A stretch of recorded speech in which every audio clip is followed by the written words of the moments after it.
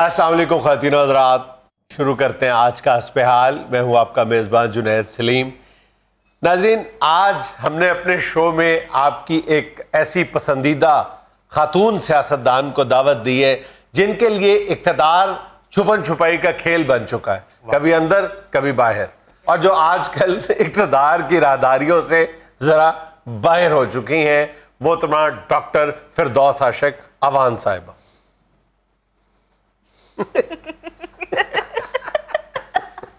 खुल के कढ़ ले जड़ियाँ दंदियाँ तो कढ़नी है। मैं क्यों दंदियाँ कटूँगा नहीं जो हँसी आपके अंदर छुपी हुई है वो निकाल लेना जितनी निकाल सकते। हद हो गई। मुझे इंतहाई अफसोस हुआ है ये सुन के कि आपको आपके ओहदे से हटा दिया गया। तो उस पे आप बिल्लियों उछल रहे हैं। बल्कि बिल्लियों नहीं कुत्तियों उछल रहे हैं। यकीन करें डॉक्टर साहब मैंने तो जब से ये खबर सुनी है मैं तो गम से सरशार हूँ। तेरी सरशारी नज़र गम नल कौन सरशार है? जुनैद वैसे बड़े अफसोस की बात। आप जैसे मीडिया के लोगों ने इसको एक मज़ाक बना लिया हालाँकि बात ऐसी कोई भी नहीं है।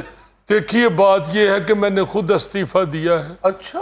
और आप लोगों ने ये कहना शुरू कर दिया कि मुझसे इस्तीफ़ा लिया गया है। अच्छा। यकीन माने मैंने अपनी निजी मसरूफियात की वजह से खुद इस्तीफ़ा दिया। निजी मसरूफियात कौन सी थी आपकी? अगे सर्दियाँ होने वाली ने रजाइयाँ तेरी भूआ ने मैनू भरा के देनिया खातन की सबसे बड़ी मसरूफियत सर्दियों में यही होती है कि रजाइयाँ बरवानी होती। तो आप रजाइयों के लिए किसी नौकर को भेज देते। खलो जावे भाई भेजे आ। यार जितनी देर तक खुद सराहने ना खड़े हों ये पेंजे वाले जो होते हैं ये नई रुई निकाल के तो पुरानी भर देते हैं और आप माशाल्लाह सियाने बयाने आदमी है पुरानी रुई का तो वो हाल हुआ होता है ਜਿਹੜਾ ਤੁਹਾਡੇ ਐਸ ਚੂਹੇ ਐਂਕਰ ਦਾ ਕੋਟ ਚ ਵੜ ਕੇ ਹੁੰਦਾ ਹੈ। देख लें जब से आप गई हैं टेलीविजन देखने का मजा नहीं आता वो पर्सनैलिटी चली गई वहां से आप बिल्कुल सच कह रहे हैं मैं माफी चाहती हूँ पिछली जुगत की ये जो आपने बात की है ये लाखों लोग मुझे मैसेज के जरिए कह रहे हैं कि जब से आप गई हैं बाखुदा में तो टीवी देखने को जी नहीं चाह रहा हाँ लोग टिकटॉक पे इजहार गम कर रहे हैं अक्सर को मैंने सुना है मैनू चढ़ गए ने हाल अज खुशियां दे नाल तेन शर्म ते नहीं आती जुनैद प्रोफेसर अमीन जवेद साहब ਦਾ ਜਵਾਈ ਹੋ ਕੇ ਤੇ ਗੈਰ ਇਸਲਾਮੀ ਜੁਗਤਾਂ आप भी तो देखे ना कौन सी निजी मसरूफियात बता रही हैं। नहीं तो इससे बड़ी निजी मसरूफियत और क्या होती है एक औरत के लिए? रजाइयाँ भरवानी है फिर मैंने अपने घर में रंग रोगन करवाना था। रंग रोगन आपने करना है? ओए है मैंने तो नहीं करना मगर मैंने रंग साहब से बात की। मैंने कहा कितने पैसे लोगे? कहता जी दो लाख रुपया। मैं क्या काका कादा दो लाख? कहते जी नाल एक मुंडा लियाना है जिन्हें पौड़ी फड़नी हुंदी है। मैं क्या तू कला ही कर ते लख देंगी पौड़ी मैं फड़ ला करा। रंग साज की पौड़ी फड़न वास्ते मैं इस्तीफा देता है। और कोई ऐसी बात नहीं, अल्लाह के फजल से देखे, खान साहब तो मुझसे इतना प्यार करते हैं, इतना अतमाद करते हैं। वो मुझे जो भी ड्यूटी कहेंगे मैं फ़ौरन उस पर पहुँच जाऊँगा। लेकिन अभी तक ड्यूटी कह नहीं रहे इमरान खान साहब आपको ना। जुनैद साहब उनको बताया जो है मैंने कि मेरी मसरूफियात हैं जरा अच्छा। खान साहब मैं वो खत्म कर लूँ। जैसे आपका ऑर्डर होगा मेरी देखें ये पार्टी है। मैं तहरीक इंसाफ की हूँ तहरीक इंसाफ मेरी है मैंने और कहाँ जाना है? लेकिन एक तरफ़ आप कह रही हैं कि जी खान साहब मुझे कह रहे हैं वजारत बहबूद आबादी ले लो कभी आप कहते हैं कि मुझे वो वफाक में इंफॉर्मेशन की ज़िम्मेदारी दे रहे गल उन्होंने रंगसाज वाली गल तो पहले कही सी। फिर मैं जो तो पौड़ी दिया हम ज़िम्मेदारी उन्होंने दसी है तो फिर उन्होंने क्या चलो कोई गल अच्छा। लेकिन आपा आप पीटीआई को अपना घर कहती हैं। आप कहती हैं कि यहाँ के लोग मुझसे प्यार करते हैं। आप पीटीआई से गई और पीटीआई के लोगों ने मिठाई तकसीम की है। दे छोटी बूंदी दे दानिशवर कितने मिठाई तकसीम हुई है? मैंने दसे ना जरा। ਉਤਰਿਆ ਪੰਜ ਸੱਤ ਤੈਵਾਂ ਤੇਰੇ ਵਰਗੀਆਂ ਲੱਗਣ ਤੇ ਫੇਰ ਇੰਨਾ ਕੁ ਪਤੀਸਾ ਬਣਦਾ ਕਿੱਡੀ ਤੈਨੂੰ ਮਠਿਆਈ ਯਾਦ ਹੈ जुनैद साहब लोगों ने बाखुदा खून के आंसू निकाले लोगों ने कहा है कि फिरदौस साहबा जब से आप गई है ना सियासत की रौनक खत्म हो आप छोड़ो इन बातों को। अगर आप खान साहब के लिए इतनी अहम है तो आपको पंजाब असम्बली के बाहर रोका क्यों? हाँ। तो पंजाब असम्बली के अंदर खान साहब बैठे हाँ। या जिन्हें रोकिया सी वर्दी पा के खान साहब खलोते हाँ, अगर पंजाब असम्बली में खान साहब खुद बैठे होते तो खुद गेट पे रिसीव करने आते हार लेके। अल्लाह आपकी खैर करे जुनैद आप माशाल्लाह खुद बड़े दानश्वर आदमी है। मैं कहना ये चाहती हूँ पहली बात तो ये है कि मुझे असेंबली पे किसी ने नहीं रोका। वे किड्डी तेज निकली है तेरी। हो! लगता कुकड़ ते किसी का पैर आ गया।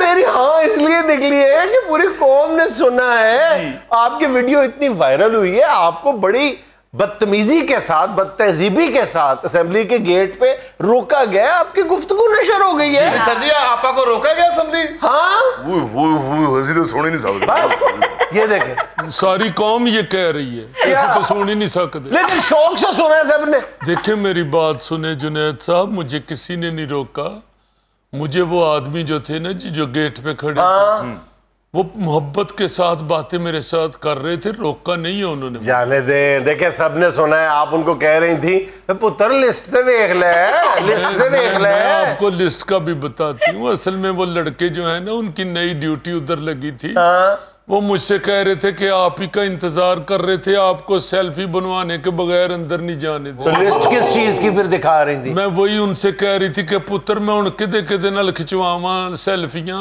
लिस्ट ते वे किन्नी लम्मी है। अच्छा। हर बंदा हूँ मेरे ना सेल्फी खिंचवाना चाहता है। अच्छा। हर सियासत का जो स्टूडेंट है वो चाहता है कि एक बड़ी पॉलिटिशियन के साथ अगर हमारी सेल्फी बन जाए। ऑटोग्राफ भी मांग रहे होंगे आप? ऑटोग्राफ भी मांग रहे थे वो वही तो ओए हाय। ਉਹ ਹੋਰ ਕਾਗਜ਼ ਕਾਹਦੇ ਲਈ ਚੁੱਕੀ ਫਿਰਦੇ ਸੀ? ਆਟੋਗ੍ਰਾਫ ਵਾਸਤੇ ਤੇ ਵਿਚਾਰੇ ਪੈਨ ਤੇ ਕਾਗਜ਼ ਫੜ ਕੇ ਖਲੋਤੇ। ਹਾਂ ਤੇ ਤੁਸੀਂ ਉਹਨਾਂ ਨੂੰ ਕਹਿ ਰਹੇ ਸੀ ਵੇ ਬੇਟਾ ਦੂਸਰੀ ਚ ਵੇਖ ਲੈ। ਇਹ ਆਹੋ ਪੁੱਤਰ ਗੱਲ ਤੇ ਸੁਣ ਲੈ ਤੋਬਾ ਢੇਰ ਥੱਲੇ ਕੇਲਾ ਆਇਆ ਹੁੰਦਾ। ਉਹ ਦੂਸਰੀ ਲਿਸਟ ਮੈਂ ਯਹੀ ਕਹਿ ਰਹੀ ਥੀ ਕਿ ਕੋਈ ਇੱਕ ਲਿਸਟ ਹੋਵੇ ਤੇ ਤਾਂ ਹੈ ਨਾ ਦੂਜੀ ਵੇਖ ਤੀਜੀ ਵੇਖ।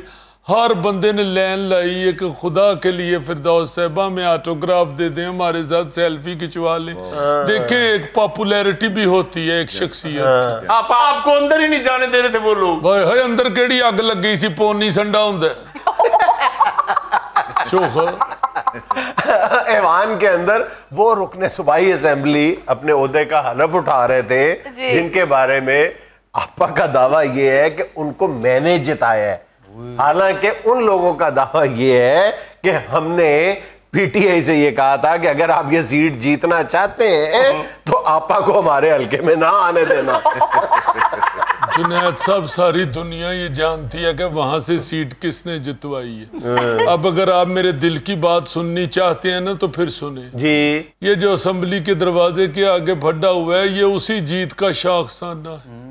सबको मालूम है कि वो एहसन बरियाल जो हैं वो काफ लीग के बंदे थे। मैंने काफ लीग से तोड़ के उनको पीटीआई में शामिल किया। फिर ऊपर से सोने पे सुहागा ये कि उधर से उनको जितवाया।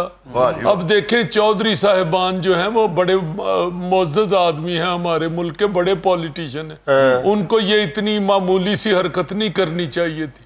उन्होंने गुस्सा निकाला है। उनको पता है कि फिरदौसा शकवान ने हमारा बंदा तोड़ लिया है ऊपर से उसको सीट भी दिलवा दी है तो उन्होंने ये मेरे साथ किया है वो जो लड़के जो थे वो बेचारे तो बाद में मुझसे माफिया मांगते रहे जाने दें, ਉਹ ਕਹਿੰਦੇ ਨੇ ਡਾਕਟਰ। ਤੁਹਾਨੂੰ ਕੀ ਦਸੀਏ ਸਾਰੀ ਅਸੈਂਬਲੀ ਦੇ ਮੈਂਬਰਾਂ ਵਿਚਾਰੇ ਅੰਦਰ ਕਹਿੰਦੇ ਰਹੇ ਨੇ ਜੀ। ਅਸੈਂਬਲੀ ਤਾਂ ਸਜਦੀ ਜੇ ਆਵੇ ਫਰਦੌਸ ਆਪਾ डॉक्टर साहब वो इलेक्शन जीतने के बाद बरियार साहब ने बाकायदा अपना वीडियो बयान दिया है जिसमें उन्होंने कहा है कि कोई हमारी फतह का क्रेडिट ना ले। हम खुद जीते हैं। वो वो कोई और बात कर रहे हैं उस पे इन्होंने डबिंग करवाई। सारा झूठ है। मैं आपको बता रही हूँ ना ऐसी कोई बात नहीं। आवाज़ और पर रही है हाँ हाँ वो किसी और की आवाज़ है। सलीम भाई की तो आवाज़ ही नहीं है। सलीम बरियाल साहब को मुझसे ज़्यादा कौन जानता है। भाई हैं अपने मेरे। हर वक्त रबते में रहते हैं आज भी उन्होंने मुझे जुम्मा मुबारक का मैसेज किया। डॉक्टर साहब आजकल आपकी मसरूफियत क्या है? बताया तो है घर में रंग करवा रही हूँ। अभी तो मैं रंग का गैलन लेने के लिए निकली थी तो रास्ते में जुनैद भाई का फ़ोन आ गया कि इधर आ जाए इधर तो मैं आ गई हूँ। नहीं यकीन तो जाके मेरी गड्डी की डिग्गी में देख लें।